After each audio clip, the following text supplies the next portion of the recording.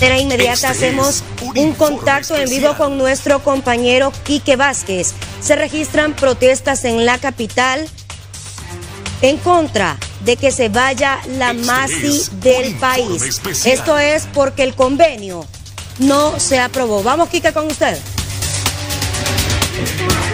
Gracias, licenciada Dilcy Paz. Así es, y es exactamente en la rotonda que está ubicada en el Boulevard Centroamérica, donde se han dado cita varias personas a formar parte de esta protesta, a manifestarse molestos debido a que no ha continuado este acuerdo eh, de la misión de apoyo contra la corrupción en el país. Observamos imágenes totalmente en directo cuando varias personas andan banderas en sus manos, otros andan rótulos eh, molestos debido a esta situación que se ha generado.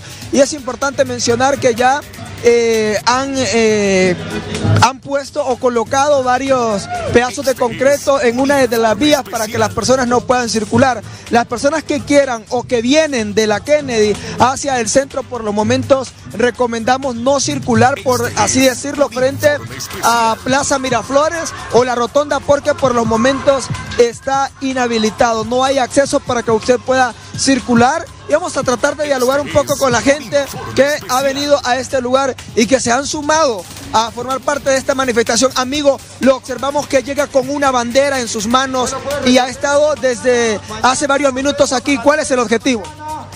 Eh, estamos protestando por el por haber por no aceptar el contrato nuevamente de la de la MASH y, que el pueblo el, pueblo hondureño no está de acuerdo pues con la actuación del actual gobierno que desgraciadamente estamos regidos por maleantes, delincuentes, ladrones y hasta eh, drogueros. Bueno, bueno, la opinión de quienes están en este lugar vamos a tratar de seguir dialogando. Algo importante que mencionar, compañeros, es que al parecer ya está concluyendo esto, ya está concluyendo con otro de los amigos. Amigo, buenas tardes. De nuevo a la calle a exigir que esta situación cambie. ¿Qué decir al respecto? O que están en contra de que no se haya renovado este convenio con la Maxi. ¿Quiénes son los únicos que no quieren que, que le siga la Maxi? Simplemente los corruptos. Ahí le digo todo. Solo los corruptos no quieren la Maxi. Todos los hondureños, el 99% de los hondureños, sí queremos que se acabe con la corrupción. Una manera de esa es que siga la Maxi. La Maxi ya la eliminaron, que venga la Sisi. Sisi para Honduras, de la ONU.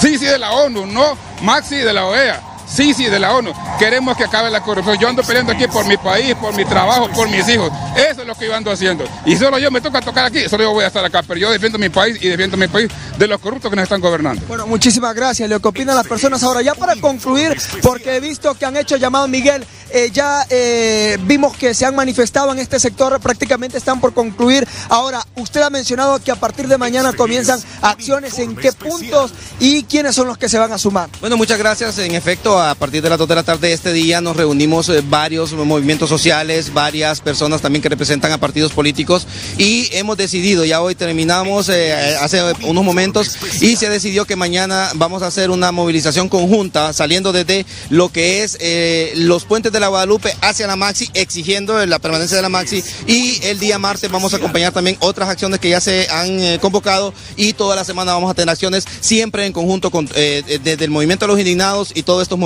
sociales también. Gracias. Miguel Briseño, quien es uno de los encargados. Y bueno, vamos a concluir nuestro contacto informando que ya está libre el paso en este sector. La rotonda que está en el Boulevard Centroamérica, yo hay manera de que usted pueda circular. Así que junto a Alan Velázquez, lo que podemos informar, compañeras, volvemos a estudios centrales.